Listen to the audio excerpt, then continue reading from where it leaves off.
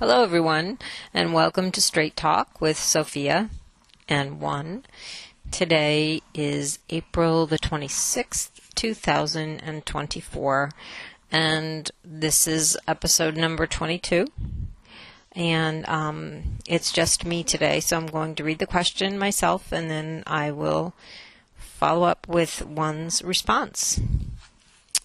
Here's the question My awakening started at the beginning of the pandemic, and it's been tough. It's been a tough four years since. I've lost friends, almost ended my marriage of 31 years, and so forth. From the time I was very young, I've always felt like I didn't belong, like I was dropped on this planet by accident. It is a common belief that our souls chose to be here at this time to help with the Great Awakening. I beg to differ. Who would choose this? And if this is true, then why do I feel such discontent and anxiety all the time?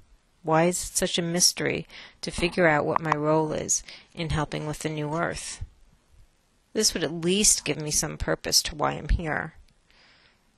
I welcome answers. Okay, and that's the end of the question, and here is the response that came from one. We first will discuss who the questioner is. It is expected that this information will help to enlighten her reasons for incarnating now. The questioner is frustrated, and understandably so. She has waited for what feels like ages to see clearly her role. This is due to the fact of her awakening. She has not forgotten. Even without specifics, this knowing acts as a separator between her and others with whom she shares her days. She speaks for many of you in this feeling, yet, as she has asked the questions, we'll reference her alone. This questioner comes to us now as an old soul. The path she is anxious to walk now is one she is familiar with. She has walked it before.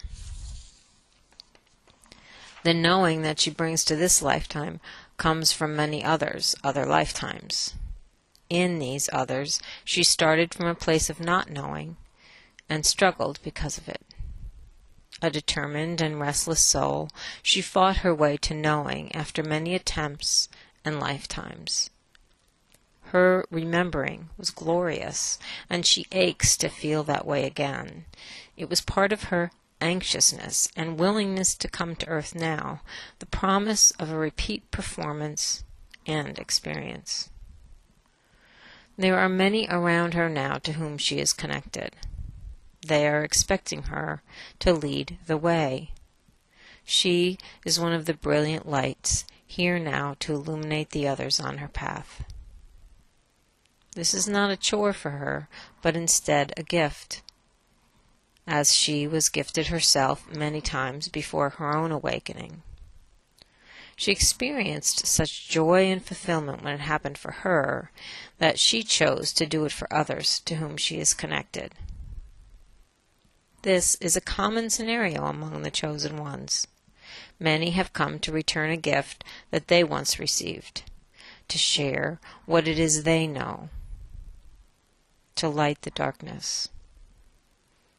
What happens is that physical life on earth overwhelms the psyche and becomes an obstacle to remembering. There is so much chatter here, much of it aimed at convincing you what matters. The ironic thing is that before arriving, you knew what mattered. You knew who you were. You were conscious of your essence from a non incarnated point of view, it seems a simple task. This is because you are in a state of bliss and knowing then. You remember the exquisite nature of enlightenment. You can't wait to encounter and share these feelings again. It seems like a good idea at the time of your decision, and so you willingly agree. The difficulty of human life comes as a bit of a shock. You find yourself battling struggles and sadness and even physical bodily setbacks. This can lead to frustration and to asking, What's the point? The truth is that you've forgotten the point. What is clear is that you haven't given up. This is evidenced in your question. Somewhere within, you are holding out for something. That, my dear starseed, would be your light. It has been hiding perhaps, yet it has not been dimmed. You are approaching now the time of brilliance. Your inquiry comes from a deep well of knowing. You are here to light the way. So, to be clear, you are not here only for those with whom you share a deep connection. You are here to help anyone you can, everyone you encounter, for however brief a moment. This does not mean that you will know who, when, or how you are helping. It is a natural outpouring of your personality. It is a consequence of engaging with others as an old soul. Your light and your love are emitted from you as a constant. As the frequency increases on earth, your reach expands. Part of the reason you are here now, and you chose this time to participate, is because of this rise in frequency. It is an auspicious time for the planet, and you wanted to be a part of it. You asked why it is so very hard to remember your reason for being here. It is to keep things interesting. It is to allow you to discover your strengths, your talents, and your interests, and to then pursue them in a self driven manner rather than by rote. Think of how it would feel if someone handed you a checklist of what you plan to do in this life. All you had to do next was follow the list, checking things off as you completed them. It would be mundane and misses the point of yours or anyone's role entirely. Free will is a constant. There are multiple paths to all destinations, and any of them will suffice. The thrill of an earth human incarnation is self realization and discovery. Remember, passion is a key ingredient to manifestation. Passion is sparked by keen interest. Interests are highly personal and self discovered. You are shown many things throughout your life here. Some of them bore you, some of them excite you. You will create a life here just as many ways as you choose to in order to experience discovery and passion again and again. It is the thrill of being an earth human that draws you to this life, and yes, you chose it. You gladly did so. Admittedly, you are living through extraordinarily challenging times. These will become extraordinarily fascinating times for you eventually. There is light at the end of your journey. It is supplied by you and the many others who also arrive to assist and to lead and to show the way. It is because of your willingness to be here at all that this is possible. The coming transformation will be brilliant. You will enjoy full recall then and comprehend everything. We'll now spend some time considering the strength and determination and goals of this questioner as well as all other starseeds and wanderers and warriors who have felt the same way. For this questioner is not alone, not by a long shot. There will be a time when you will gather together and recall all of it. The eagerness to participate as well as the hardships once here. Your joy at being a part of such a pivotal role will exceed your expectations. There will be relief. There will also be pride and satisfaction. For you will have helped not only yourself and your immediate family, but also the entire Earth human race. This is no small feat. You have heard that it is the strongest of the strong here now. This is clear in the framing of your question. Also clear is that you are not fully conscious of your strength and tenacity.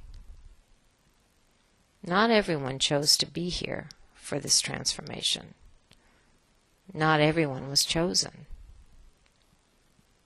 You were. To participate demanded skill and development that you would call magic while embodying an earth human. You have these traits and abilities, not just some of you,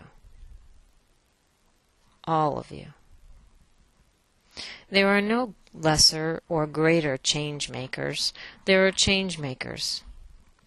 They arrived on earth knowing its people were captured, in order to remind them of truth and guide them into the light. All of this while physical. It is the degree of remembering that differs amongst you, not so much ability. These recollections will come in time, in your own time, and in the most perfect way for you to appreciate and utilize them. You set it up that way. If you are frustrated, it may very well be that this is the stimulus for you to remember. You will. Trust. There is only love behind this incarnation, and only love in your core truth. You will not exit before discovering that for yourself. That is all. Godspeed, my enlightened one. Godspeed. So that's the end of the answer from one. I really enjoyed it, and I hope that you did too. Um, some of it feels like we may have heard it before, but it was a nice reminder, and I really liked the comparison of um, someone handing us a list of what we were supposed to do versus us figuring it out for ourselves. That that brought it home, at least for me, and I hope that it did for you. Um, thank you so much, all of you that are listening now, and the person who asked the question for contributing to this series and to this journey as a whole um, we need to share with each other. Uh, I think that makes it easier on all of us. I'm sending each of you lots of love and light, and I'll see you in the next episode. Bye now.